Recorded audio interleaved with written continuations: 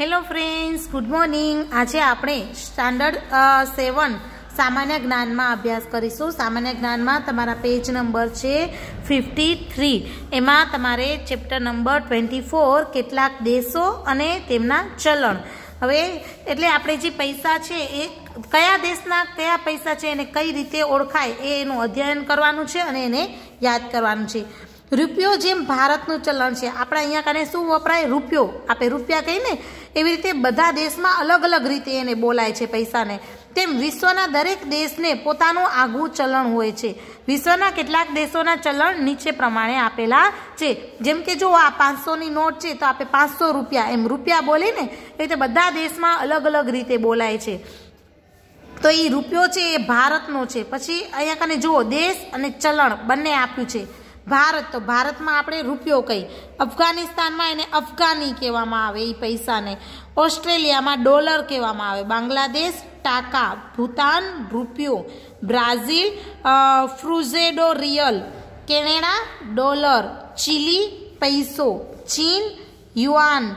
Denmark, krone. Egypt, pound. France, euro. Greece, ડ્રાંક drachma. Indonesia, रुपया Iran, rial. Iraq, dinar. Italy, euro. Japan, yen. Jordan, dinar. Kuwait, dinar. Libya, dinar.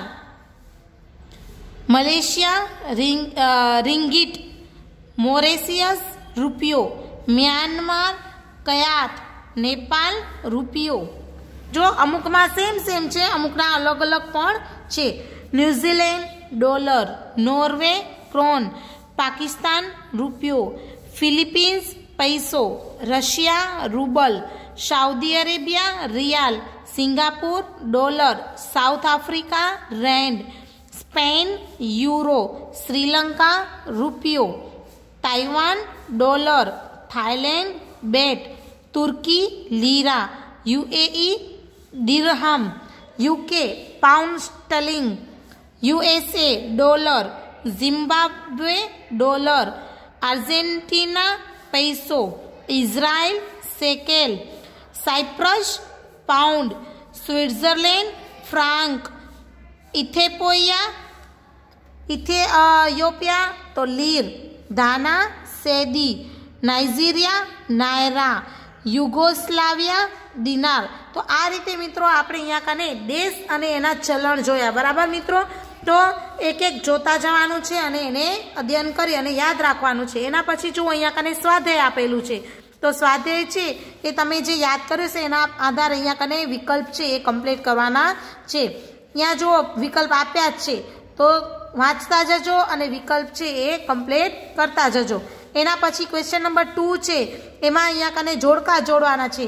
અ વિભાગની સામે બ વિભાગ સાથે સાચો ઉત્તર શોધીને લખો. આ અહીંયા કને અ વિભાગ છે, એમાં દેશ આપેલા છે અને બ વિભાગમાં એના ચલણ આપેલા છે. જે સાચું હોય એ અહીંયા કને લખવાનું છે. Thank you